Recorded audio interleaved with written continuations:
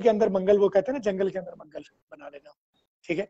बल्कि मैं तो आइडियल ये समझता हूँ कि एक डिश नेट डिश इंटरनेट के साथ मुझे इंटरनेट अवेलेबल हो और सोलर के ज़रिए मुझे बिजली फ्राहम हो तो मैं दुनिया से बिल्कुल कट के रहूँ। अभी भी मैं कट के बैठा हूँ। नो बडी नोज़ कि मैं यहाँ कहाँ पर हूँ। बल्कि मैं तो ये, मैं चाहूँगा ये सरप्राइज़ ही रखूँ मैं कहाँ पर हूँ। तो इंग्लिश ने मुझे ये मौका दिया कि कब मैं इससे कोई फ़र्क नहीं पड़ता। मैं दुनिया के किस खत्ते से ताल्लुक रखता हूँ, मेरा रंग क्या है, मेरी नस्ल क्या है, मैं किस इलाके किस कल्चर किस दौर से ताल्लुक रखता हूँ।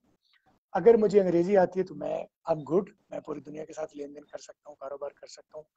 और यहाँ बड़े इलाके से कट के एक बिल्कुल गाँव वाली जगह पर आके बैठ के मैं लाखों रुपए, जो मैं लाहौर में बैठे कमा रहा था, बल्कि अब ज़्यादा कमा रहा हूँ।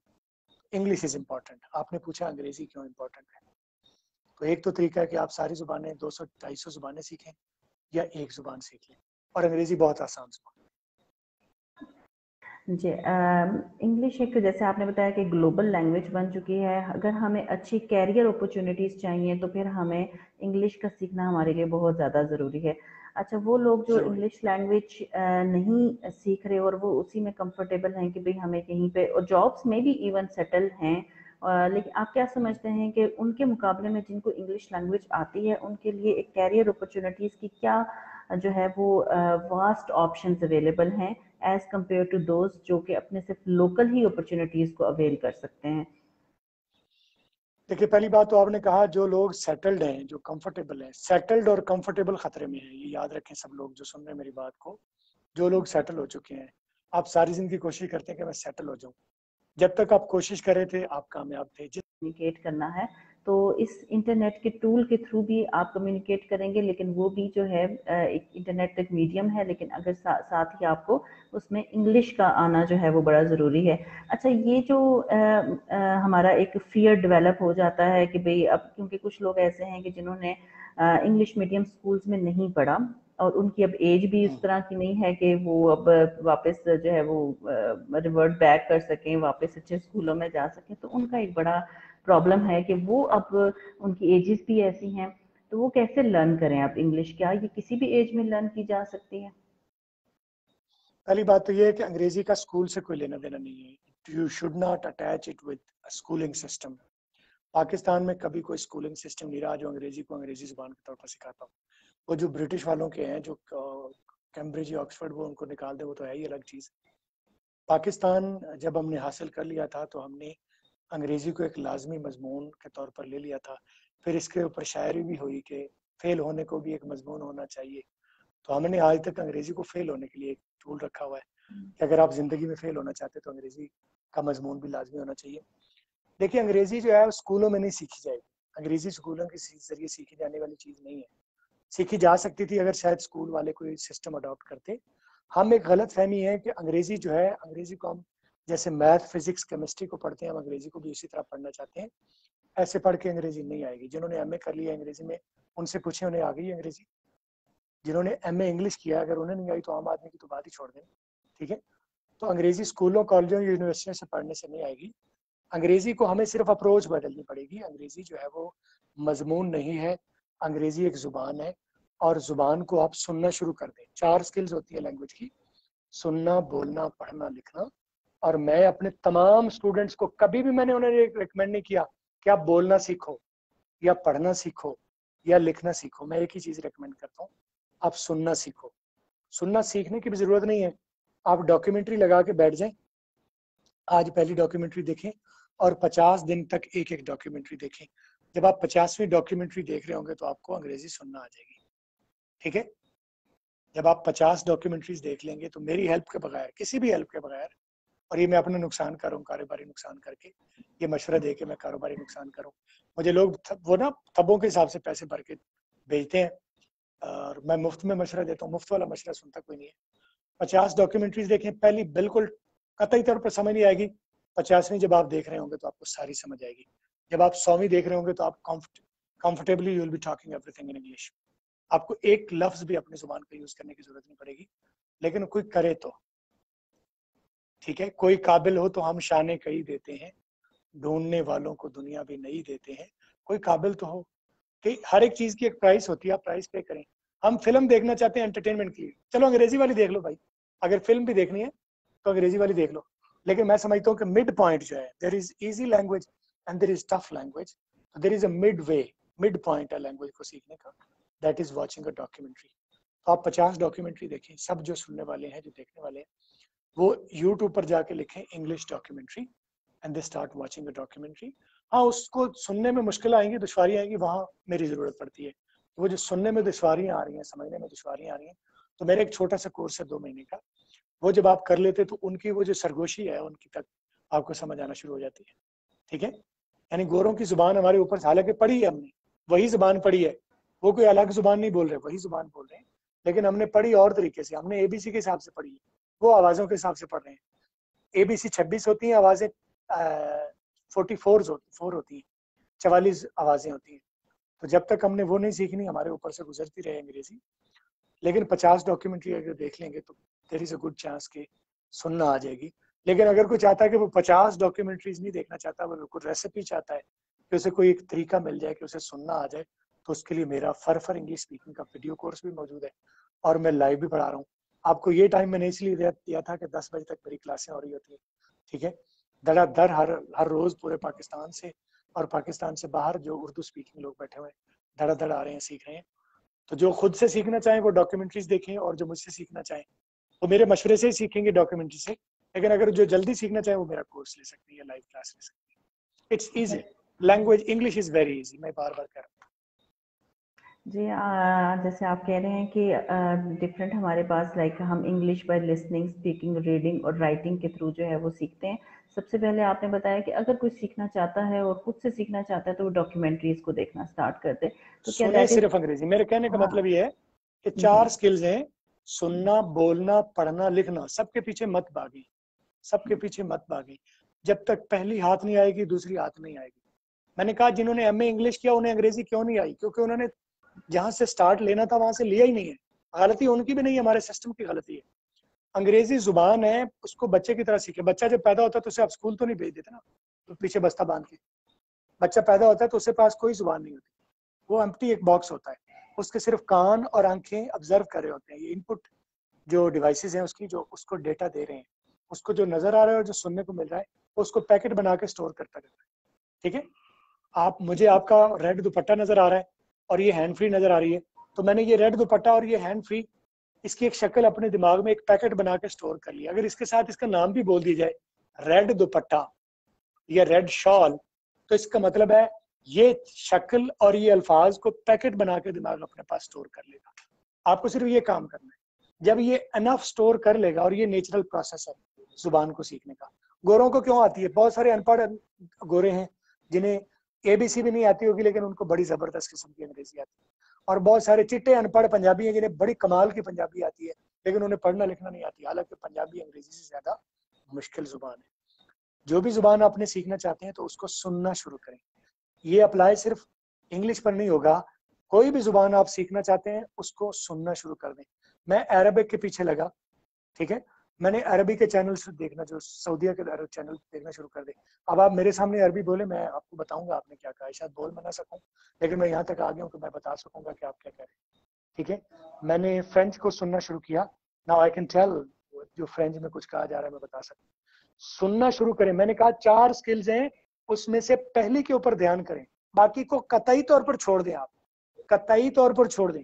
अगर मैं कहूँ कि सौ में से कितने हिस्से करने हैं तो सौ फ़ीसद आप सुने ज़ीरो ज़ीरो ज़ीरो रीडिंग को लिसनिंग को और स्पीकिंग को दें जब आप ये सौ परसेंट देंगे अपनी एफर्ट लिसनिंग को तो ऑटोमेटिकली बाकी खुद ब खुद बढ़ जाएँगे सारे हंड्रेड परसेंट खुद ब खुद हो जाएँगे। इट विल हैपन अच्छा दैट इज़ वेरी इंटरेस्टिंग कि आप जो है अक्सर कहा जाता है कि जब तक आप बोलेंगे नहीं बात नहीं करेंगे तब तक आप को जो है ना वो वो नहीं कर सकते आप इंग्लिश अच्छी नहीं बोल सकते। That is very unique point कि अगर आप पहले जब हाँ जी।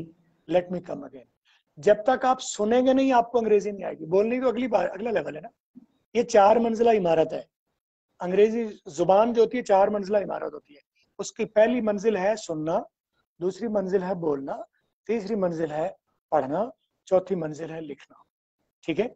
आप कैसे कह सकते हैं कि मैं छलांग लगा के चौथी मंजिल पर पहुँच जाऊँ? ये हो सकता है। आप कहें, जी, ना मैंने सीढ़ी लेनी है, ना मैंने लिफ्ट से जाना है, मैंने छलांग लगा के जाना छलांग लगा के आप चौथी मंजिल पर नहीं जाएँगे। आप पहली मंजिल को कवर करेंगे स्टेप बाय स्टेप पहली मंजिल कवर हो जाएगी तो दूसरी खुद ब खुद आप पहुँच गए। जब पहली कवर होगी तो आप दूसरी पर आ गए ना। जब दूसरी कवर होगी तो तीसरी पर आ गए। बिल्कुल ये चार मंजिला इमारत की तरह है। इसलिए मैं कहता हूँ, आप तीसरी, चौथी के बारे में फिक्रमंद छोड़ दें, दूसरी, तीसरी, चौथी को छोड़ दें। पहली को बोर करें, जब वो हो गई तो already you are on the second position जब आपकी लिसनिंग अच्छी हो गई already you are in a good position to speak now तो मैं कह रहा हूँ कि जिन लोगों को अंग्रेज़ी बोलना है, वो लफज बोलना भूल जाए। ठीक है? वो छोड़ दें, उसको ताक में बंद करके रख दें। सुनना शुरू करें and forget about everything else मैं अंग्रेज़ी पढ़ा रहा हूँ। मैंने कहीं से नहीं सीखी। मैं किसी रिवायती कॉलेज यूनिवर्सिटी से कोई डिप्लोमा करके नहीं आया। आज पूरा पाकिस्तान और पूरा इंडिया इंटरनेट से ढूंढ के एक बंदे को ट्रस्ट करता है। मुझे ऐसा लगता है, क्योंकि मेरे पास रश लगा हुआ है। क्यों ट्रस्ट करता है? क्योंकि कोई फार्मूला मेरा काम कर रहा है तो, तो ट्रस्ट करता है ना। अगर उनको समझ नहीं आ रही होती मेरी पढ़ाने की तो लोग भाग जाते ना ट्रस्ट नहीं करते। तो मेरा मैं कह रहा हूँ कि अगर सौ में से टोटल अगर आपको डिवाइड करनी हो अपनी एफर्ट या अटेंशन कि चारों स्किल्स में से किसको देनी है सिर्फ़ एक को देनी है सुनने को। ठीक है? जब तक सुनना नहीं आएगा बाकी के पीछे जो आप एफर्ट कर रहे हैं वो वेस्ट ऑफ़ टाइम है। मैंने कहा सोलह जमातें अंग्रेज़ी में करने के बावजूद अगर अंग्रेज़ी नहीं आई और फिर वो सोलह जमातें करने वालों को मेरे की तरफ़, जैसे बंदे की तरफ़ आता है, आना पड़ता है तो इसका मतलब सोलह साल उसके जाए हुए ना? अब मेरे पास जब उसने आना तो मैं एबीसी से शुरू करवाऊँगा। मेरे पास जो भी आता, मैं एबीसी सिखाता हूँ पहले। मेरे पास एम वाले पढ़ रहे हैं एम इंग्लिश वाले, जिन्होंने एम किया इंग्लिश में, और उनको मैं एबीसी सिखाता हूँ। क्या फ़ायदा वो सारा सोलह सत्रह साल, अठारह साल लगाने की या तो फिर आपको इतमाद होना चाहिए ना? आपने इतना सीखा और आप इतने पर है now I know it now I am confident ठीक है? मैं एक ही चीज़ पर ज़ोर दे रहा हूँ कि आप सुने बस। सुनना जब पूरा हो जाएगा तो जब सुनना पूरा होगा तो बाकी खुद ब खुद हो चुका ऑलरेडी हो चुका। ठीक है? आप चार गिलास बराबर रखें ना उनमें सुराग करके उनको नीचे से जोड़ दें एक को भरना शुरू कर दें। चार गिलास हो ना वो अक्सर तौर पर आपने कुछ भी देखा होगा एक इस तरह का कि चार गिलास हैं उनको नीचे से उनको वो सुराग करके सबके सबको जोड़ दें। अब आप एक को भरें। किसी एक को भरें तो क्या होगा? जब एक भरेगा तो सारे भरेंगे। बराबर भरेंगे। मैं यही कहना चाह रहा हूँ कि आप सुनना शुरू करें फ़िक्र ना करें कि आपको बोलना आ रही है कि नहीं आ रही। लोग क्या कहते हैं हमारे पास भी जो आते हैं तो वो ये फ़िक्र में होते हैं कि सर मुझे बोलना नहीं आ रही। तो मैं कहता हूँ अच्छी बात है नहीं आ रही। अभी बोलना ना आना ही बेहतर है। अभी सुनना आना चाहिए। तुम ये फ़िक्र करो कि सुनना आ रही है कि नहीं आ रही। तो मुझे कहते सर सुनने की समझ आ रही है। दैट्स अनफ दैट्स गुड मैं समझता हूँ जो मेरे से क्वालिफाई हो गया सुनने में ही is already good for everything जी। अच्छा अब जब हम सुनना स्टार्ट करते हैं तो डिफरेंट एक्सेंट्स हमें सुनने को मिलते हैं और वो हमें समझ नहीं आ रहे होते कि ये किस तरह से बोला जा रहा है। तो इन एक्सेंट्स को समझने का क्या है कि लाइक आपने एक दफ़ा सुना तो आप उसी को क्या अगर आपको नहीं समझ आई तो like you keep on repeating it उसको बार बार सुना जाए uh, ये किस तरह से इसका क्या फॉर्मूला होता है? पहली बात तो जो एक्सेंट है वो एक हमारे एक है अंग्रेज़ों की इंग्लिश ठीक है? इंग्लैंड से निकला ना इंग्लिश वर्ड इंग्लैंड से इंग्लिश इंग्लैंड की ज़ुबान इज़ इंग्लिश ठीक है? ठीक है? जैसे फ्रांस की ज़ुबान है फ्रेंच तो इंग्लैंड की ज़ुबान है इंग्लिश हमारे यहाँ एक अंग्रेज़ी बोली जाती है वो है पिंग्लिश। ठीक है? हमारी है पिंग्लिश हमने अपनी ईजाद की हुई है। ठीक है? और जैसे कोई अरबी आया था ना पाकिस्तान में तो वो पढ़ रहा था एक बैंक का नाम तो वो तर्जमा उसका हजे कर रहा था। हब यब नाका लम तद ठीक है? तो हम भी अंग्रेज़ी को ऐसे ही करते हैं। तो जहाँ तक रही अंग्रेज़ी के एक्सेंट की बात तो दो मेजर एक्सेंट्स हैं दुनिया में, अंग्रेज़ी के मेजर एक्सेंट्स हैं और उन एक्सेंट्स के अंदर आगे छोटे छोटे डिविजन है, उन्हें डायलेक्ट्स कहते हैं। ठीक है? मेजर एक्सेंट्स जो है वो है अमेरिकन और ब्रिटिश अब इन दो में से अगर आप कंपैरिजन करें तो अगर मुझे कहें दस में से किसको नंबर आप ज़्यादा देंगे तो मैं दस में से नौ नंबर अमेरिकन को दूँगा, एक नंबर ब्रिटिश को दूँगा। British is hard to understand hard to adopt American language जो है वो इजी है सॉफ्ट है फ्लुएंट है, उसमें स्टकिंग नहीं होती, अटकते नहीं है आप, और दूसरी बात यह है कि उसका कंटेंट बहुत ज़्यादा अवेलेबल है, ठीक है? Start listening from American English और मैं बताता भी हूँ कि आपकी ये चीज़ जो है वो अमेरिकन है और ये ब्रिटिश है। चंद एक चीज़ें हैं, मेरे तीन, चार लेक्चर ये बता देते हैं मोटा मोटा आपको बता देते हैं डिवीज़न कर देते हैं कि ये ये फ़र्क अमेरिकन का है, ये ब्रिटिश का है। तो आई रिकमेंड के अमेरिकन एक्सेंट को सुनना शुरू कर हैं they are easy they are fluent they are comfortable they speak relax और उनका कंटेंट बहुत ज़्यादा अवेलेबल है। पचास डॉक्यूमेंट्रीज देखें, जब आप पचासवीं डॉक्यूमेंट्री देख रहे होंगे तो आपको अंग्रेज़ी सुनना आ रही होगी, समझ आना शुरू हो जाएगी, वो क्या करें? पूरी समझ आएगी वो क्या करें? पचासवीं तक पहुँच के पूरी समझ आएगी वो क्या करें? सौवीं तक आप जब पहुँचेंगे तो आपको किसी अकमल, किसी अंग्रेज़ी वाला, किसी अंग्रेज़ी वाला, किसी फलाना, किसी टमकाना किसी पच्चीस, तीस हज़ार देने की ज़रूरत नहीं है। और जो इस बात पर अमल नहीं करना चाहता, वो मुझे बीस हज़ार रुपया दिया और मुझसे सीख लिया जी थैंक यू सो मच आपने बड़ा अच्छे तरीके से इसको एक्सप्लेन किया। अच्छा ये तो हमने बड़ों की बात की कि जो ऐसे बड़े हैं जिन्होंने उर्दू मीडियम स्कूल्स में पढ़ा, जैसे कि आपने कहा, और उनके जहन में एक ये डर था कि हमने ऐसे उर्दू मीडियम स्कूल में पढ़ने की वजह से शायद हमें नहीं आई तो आपने बताया कि उसमें एजुकेशन का इतना कोई पार्ट नहीं है। आप किसी भी एज में जो है वो इसको सीख सकते हैं और लिसनिंग से स्टार्ट करें, जो कि आपने बताया कि फिफ्टी डेज़ कॉन्टीन्यूस आप उसको सुनना स्टार्ट कर दें। अच्छा अब जब बच्चों की बात अगर हम करें, अक्सर आपने देखा होगा पेरेंट्स परेशान हैं कि किस स्कूल में करवाएँ जहाँ पे स्पोकन अच्छी है और उनके लिए मतलब सिलेक्शन का वो एक बड़ा मुश्किल सा प्रोसेस है कि जो ब्रांडेड स्कूल्स हैं वो ढूंढ रहे होते हैं कि उन स्कूल्स में स्पोकन अच्छी होगी। तो उनकी ये मुश्किल बड़ी आपने आसान कर दी कि इसका इसके साथ कोई रिलेशन ही नहीं है।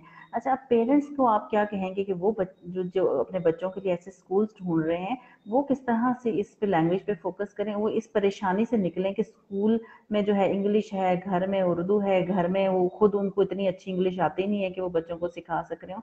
तो ये अर्ली एजेस से सिखाना कितना ज़रूरी है? क्या अर्ली एजेस में उनको उर्दू ही अपनी नॉर्मल लैंग्वेज अपनी मदर लैंग्वेज बोलनी चाहिए? या उनको वाकई ही स्कूलिंग की तरफ़ भी रिलाय करना चाहिए कि ऐसे स्कूल ढूंढे जाए जहाँ पर जी स्पोकन अच्छी है और फिर साथ ये भी बताएँ कि घर में इस लैंग्वेज पे तवज्जो देना कितना ज़रूरी है। पहली बात तो ये कि ज़ुबान, जो तालीम है वो हमेशा अपनी ज़ुबान में होनी चाहिए, इसमें हम गलत हैं, सभी गलत हैं। हमें एक वसवसा है कि पता नहीं हमें हम उर्दू वाले हैं तो अंग्रेज़ी वाले को सुपीरियर कौम है? ये हमें एक वसवसा जो इमरान खान भी कहता है, ठीक है? इमरान खान इसलिए कहता है, उसने सारी दुनिया घूमी तो इसलिए उसको समझ आ गई। मैंने सारी दुनिया को देखा। समझा है, उनको परखा है। तो मैं समझता हूँ ईस्ट और west home is the best पहली बात तो ये है कि जो तालीम है, बेसिक तालीम है, वो टोटल अपनी मादरी ज़ुबान में होनी चाहिए। अगर माँ पंजाबी बोलती है तो उर्दू में बच्चे को मत सिखाएँ। पंजाबी में बेसिक तालीम होनी चाहिए। अगर माँ सिंधी है तो बेसिक तालीम सिंधी में होनी चाहिए। रही बात कि अंग्रेज़ी कैसे सीखें तो बच्चे बड़े शौक से कार्टून देखते हैं। उनको अंग्रेज़ी वाले कार्टूनों पर लगा दें। ठीक है? ये डोरेमोन और ये जो है ना शैनचेन और इस तरह के जो होते हैं ये तबाह कर दे आगे आपकी कौम को। ठीक है? एक तो उसके पीछे लैंग्वेज आपकी वो, वो एजेंडा नहीं है आपका। उसके अंदर एजेंडा भी है। जो चीज़ें वो सिखा रहे हैं उनके अंदर एजेंडा भी है वो कौम को तबाह कर देंगे। आप इंग्लिश जो कार्टून है ना थ्री डी कार्टून जो होते हैं थ्री डी मूवीज़ हो गई। ठीक है? स्मर्फ हो गया और श्रैक हो गया पुराने दौर ये मैं पुरानी बात कर रहा हूँ अभी नई भी आजकल आ रही होगी। ऑजी हो गया। ठीक है? इस तरह के इंग्लिश कार्टून बच्चों को थ्री डी कार्टून बच्चों को लगा दें। चंद एक जो है ना, अगर आप पाकिस्तान में 400 ब्रांड है, अगर इंग्लिश मीडियम स्कूलों का उनमें एक आध है, मैं नाम नहीं लूँगा, वो ब्रांडिंग हो जाएगी उनका। एक आध है जो अंग्रेज़ी से शुरू करते हैं, और वो भी इसी तरह से सिखाते हैं। वो अपने टीचर्स को भी इसी से सिखाते हैं डॉक्यूमेंट्री से। उनके टीचर्स की ट्रेनिंग भी इसी तरह से होती है। वो जितने भी पढ़ के आ जाए, जितने भी तालीम याफ्ता हूँ उन्हें भी डॉक्यूमेंट्रीज ही देखनी है। तो डॉक्यूमेंट्रीज देख के उनकी पहले लैंग्वेज पॉलिश होगी। और फिर वो बच्चों को स्कूल में मूवीज़ और कार्टून और छोटे छोटे ये दिखा के बच्चों की बेस बनाते हैं। उन्होंने जो आपने जो आपके स्कूल की बस दस दस बारह बारह हज़ार रुपया फ़ीस दे के आपने वहाँ करवाने, मैं मुफ़्त मशवरा दे रहा हूँ, वो घर में आप करवाएँ। आप वो लगा के बैठ जाए, मियाँ माँ भी देखे, बाप भी देखे, बच्चों को भी दिखाएँ। दो महीने टिक के कर लें, ठीक है? आप स्कूलों के मोहताज नहीं रहेंगे स्कूल आपके मोहताज हो जाएँगे। जब बच्चा कोई परफॉर्म कर रहा होता है ना स्कूलों वाले आते हैं हम आपके बच्चे का इंटरव्यू करना चाहते हैं कि हमारा नाम लेके बताए। होता है ना ऐसा? ठीक है?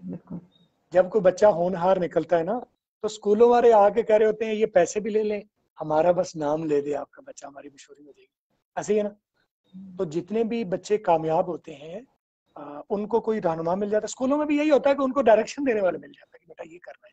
वो डायरेक्शन में दे रहा हूँ। अगर किसी को लगता है कि मुझे अंग्रेज़ी नहीं आती तो मेरे आके मेरे से आके बात करे। कि मेरी बात ऑथेंटिक है कि नहीं I can talk in English I been teaching English for the last 20 years now तो एक ही बात कर, सारी बात का क्रक्स ये है सुनने, बच्चे को सुनने को दें। बच्चों को कार्टून दें, बड़ों को डॉक्यूमेंट्रीज देते मैं तो बड़ों को भी पहले कार्टून दिखाता हूँ। मेरा जो कोर्स का स्ट्रक्चर है, उसमें पहले मैं बेसिक रूल सिखाता हूँ आवाजों के, ठीक है? ब्रिटिश और अमेरिकन के सारे रूल बताता हूँ। कब आवाज़ें ब्लास्ट होती हैं, कब स्किप होती हैं, कब साइलेंट हो जाती हैं, कब मल्टीपल लेटर्स में वर्ड्स मिलके एक वर्ड बन जाता है। मैंने एक एक वीडियो दी थी दीवाना। दीवाना जो उर्दू का दीवाना होता है ना वो चार वर्ड्स अंग्रेज़ी के मिला के दिया था डू यू वांट टू को मैंने बना के दिया था दीवाना। और वो सबसे पॉपुलर वीडियो गई यूट्यूब पर। हालाँकि उस तरह की मैंने कोई पंद्रह सोलह वीडियोस दी हैं। लोगों ने शायद बाकी देखी नहीं है। तो अंग्रेज़ ये करते हैं मिला के बोलते हैं शॉर्ट करके बोलते हैं रिड्यूस कर देते हैं। आवाज़ें चेंज हो जाती है। टी की आवाज़ आर हो जाती है। बैटर की बजाय बैरा बोला जाता है। अब हमने तो बैटर पढ़ा हुआ है, जब तक वो बैटर नहीं पढ़ेंगे, हमें समझ नहीं आएगी। वो बैरा बोल रहे हैं और हमने बैरा वो पढ़ा हुआ है, जिसको वो खाना खिला, खाना देता है। तो जरा ये फ़र्क है। सुनने से ये चीज़ें क्लियर होंगी। मैं बार बार एक ही चीज़ कर रहा हूँ। सुनो अंग्रेज़ी को, सुनना आ जाएगी तो अंग्रेज़ी आपको आ जाएगी। सुनने में दुश्वारी होगी तो मुझसे रहा मैं हेल्प करूँगा। जी बिल्कुल आपने सही कहा कि जैसे पेरेंट्स हैं अपने बच्चों को अगर इंग्लिश सिखाना चाहते हैं तो ये एक प्रूवन फार्मूला है जो कि मैंने खुद भी अपने घर में ट्राई किया और बल्कि मैंने अपने ही बच्चों के साथ बैठ के कार्टून्स देखना स्टार्ट कर दिए और उससे मुझे लगा कि थोड़े ही अरसे में मेरी भी अच्छी होना शुरू हो गई है स्पोकन और बच्चियों की भी जो है वो अच्छी होना स्टार्ट हो गई मैंने देखा आपकी बेटी आपकी बेटी अंग्रेज़ी में बोल रही थी that's wow that's a wow moment ठीक है? जी। मैंने अपनी बेटी को एक लेक्चर दिया था सिर्फ़ बच्चे बच्चे तीन बच्चे हैं। उनको मैंने सिर्फ़ एबीसी का एक एक लेक्चर एक लाइफ टाइम में मैंने एक लेक्चर दिया है। वो इंटरनेट पर मैंने डाला था। उसके अलावा एक लेक्चर भी मैंने नहीं दिया। और मेरी बेटी इंटरनेट पर शोज़ करती है। ठीक है? पूरा शो करती है अंग्रेज़ी में प्रैक्टिस का अंग्रेज़ी प्रैक्टिस करवाने का। हाउ यही फार्मूला सुना? जब सुनना आ गया तो सारा आ गया। आपकी बेटी को भी मैंने देखा माशाल्लाह शी वाज डूइंग जी और उसका सिर्फ़ यही एक फॉर्मूला था कि मैंने उसको सिर्फ़ कार्टून्स लगा के दिए हैं बल्कि एक जो छोटी वाली है उसको तो मैं सिर्फ़ पॉइंट्स लगा के देती हूँ इंग्लिश में। और स्टार्ट में उनको उर्दू की तरफ़ ना लेके जाए स्टार्ट में ही अगर इंग्लिश की वो देख रहे हैं स्टोरीज और पोइम्स क्योंकि उर्दू तो मैं उनके साथ कॉन्टिन्यूस घर में बोल ही रही हूँ लेकिन साथ में अगर हम्म। आपने उनको कार्टून्स और पोइम्स पे लगा दिया है तो वो खुद ही उनकी लैंग्वेज डेवलप होना शुरू हो जाएगी और इंटरनेट आजकल तो हमारे पास एक इतना अच्छा टूल है सिखाने के लिए कि अगर आपको जो पेरेंट्स इसलिए परेशान हैं कि उनकी अपनी लैंग्वेज अच्छी नहीं है इंग्लिश नहीं आती उनको। उनके लिए आराम से वो कार्टून्स लगाएँ और उस पर उनको स्टार्ट में दिखाना स्टार्ट कर दें।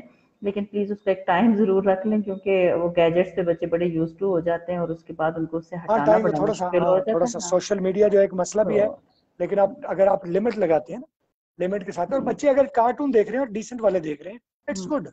जितना ज़्यादा देखेंगे फ़ायदा है। वो तो एजुकेशन हो रही है ना ठीक है? मैं जब सीख रहा था अंग्रेज़ी, में एक एक दिन में आठ आठ मूवीज़ देखता था। देखिए, डेढ़ घंटे की एक मूवी होती है इंग्लिश की। आठ मूवी का मतलब है बारह घंटे मैं कुर्सी पर बैठा हूँ। और मेरे बारे में मैं मशहूर है कि मेरी कुर्सी पर बैठे बैठे मेरी दाढ़ी निकल आती है। आज भी। ठीक है? मेरी कुर्सी पर बैठे बैठे दाढ़ी निकल आती है। नज़र आनी शुरू हो जाती है।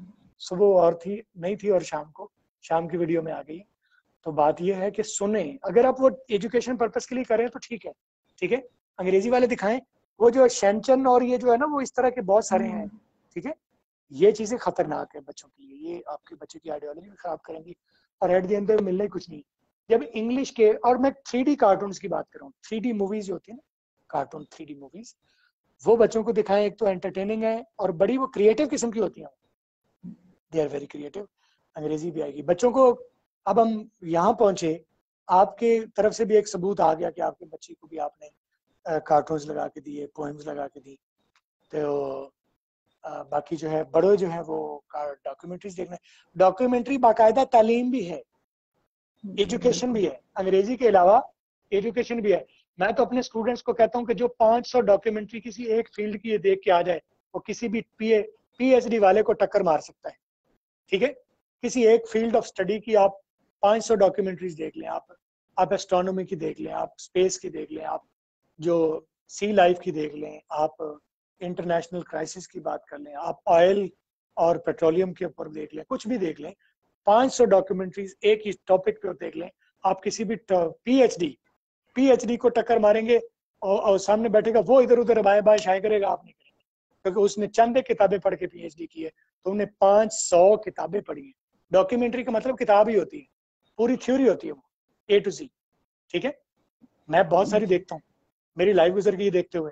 तो मैं एक ही चीज़ रेकमेंड करता हूँ। अब मुझे समझ मैं ये कहता हूँ कि स्कूलों को छोड़ के, पाकिस्तान के स्कूलों और कॉलेजों को तारे लगा के आप डॉक्यूमेंट्री दिखाना शुरू कर दें अपने बच्चों मैं ये लिटरली ये कह रहा हूँ। मैं आप समझ, आप ये बात, मेरी बात आज माने या ना माने, कल को ये बात साबित हो जाएगी। कहने वाले की बात मौके पर साबित नहीं होती। कई मरबा उसकी ज़िंदगी में साबित हो जाती, कई मरबा उसके जाने बाद साबित होती है। Schools and colleges are irrelevant now उनका कोई किरदार नहीं आपके बच्चे की ज़िंदगी। आप कायनात में, ज़मीन पर, दुनिया भर में जो टॉप अचीवर्स हैं, उनको जाके पढ़ें।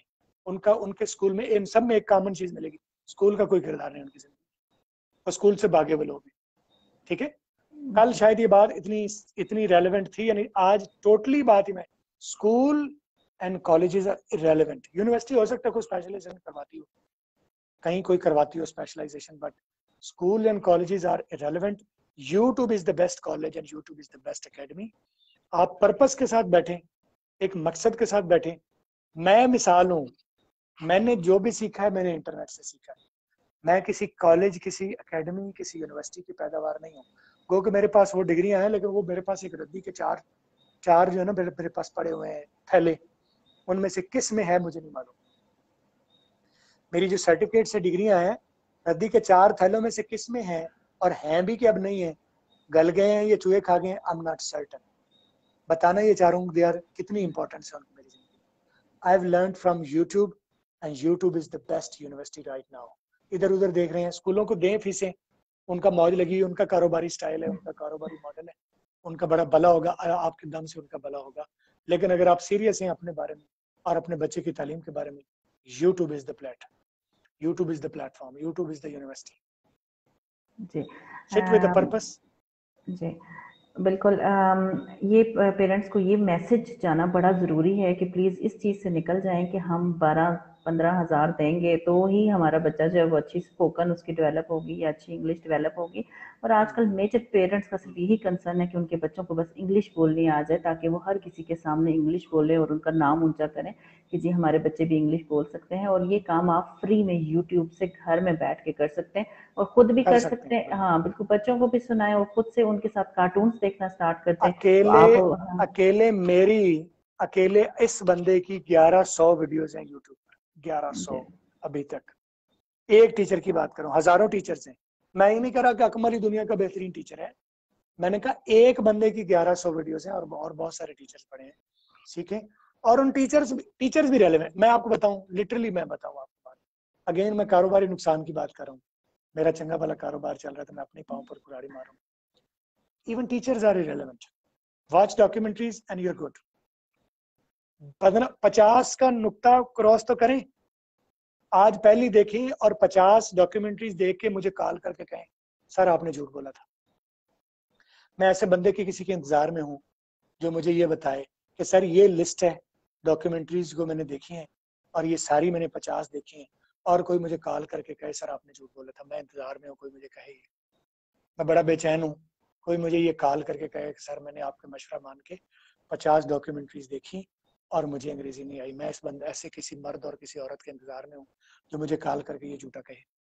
मैं झूठ सुनना चाहता हूँ कि मुझे कोई कहे, ये झूठा झूठ बात कर रहा और क्या जी आपका जी बिल्कुल आपका यूट्यूब चैनल में उसमें बड़ी अच्छी वीडियोस हैं जहाँ से लर्न किया जा सकता है और आज तो आपने बिल्कुल ही जो है वो कारोबारी नुकसान करके फ्री में बता दिया कि भाई सुनना शुरू कर दें डॉक्यूमेंट्रीज तो इस टिप के साथ जो है वो आई थिंक कि अब लोगों के का एक फियर ज़रूर निकल जाएगा और इस कॉम्प्लेक्सिटी से निकलें कि हमें इंग्लिश नहीं बोलनी आ रही। दैट इज़ वेरी इजी और बहुत कम टाइम में भी आप सीख सकते हैं। जैसे कि 50 डेज़ ऑलमोस्ट टू मंथ्स ठीक है टू मंथ्स में आप इंग्लिश लैंग्वेज में परफेक्ट हो सकते हैं।